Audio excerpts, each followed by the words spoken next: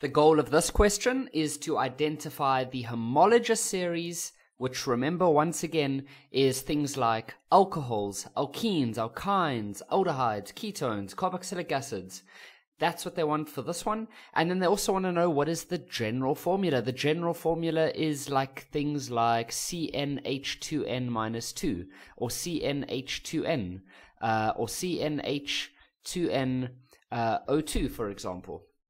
Sorry, that's meant to be an N over there. So that's the general formula. Okay, so if we look at this molecule, we can see that this is a very basic molecule. There are no oxygens, there are no double bonds, there are no triple bonds. So this is the most basic molecule of all. This is the alkanes. So under the homologous, the answer for that one would be L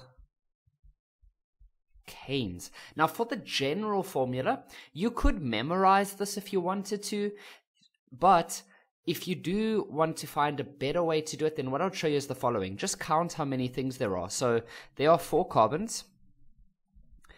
If you count the number of hydrogens, there would be 1, 2, 3, 4, 5, 6, 7, 8, 9, 10. Okay? So you might not be able to identify a relationship over there.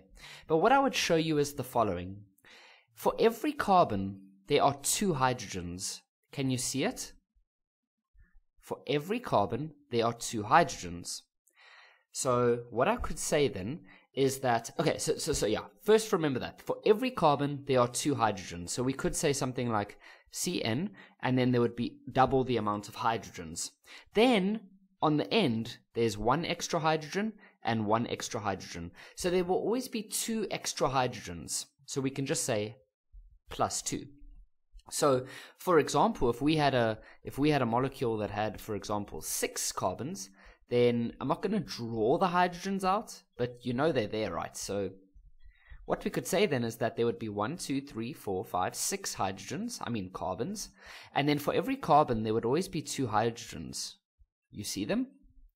So you could say H12 and then there's always going to be these two random ones on the end. So we could just say um, plus 2, which would then be 14 hydrogens in total. Okay, so Kevin, so what's the answer, my dude? Well, this is the answer over here. We know that we should know that for alkanes, the general formula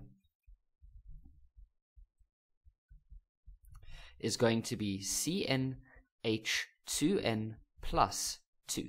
So as I said, you could memorize that if you wanted to, or you could just try to work it out each time. And I think that's a better approach because it really shows that you understand your work.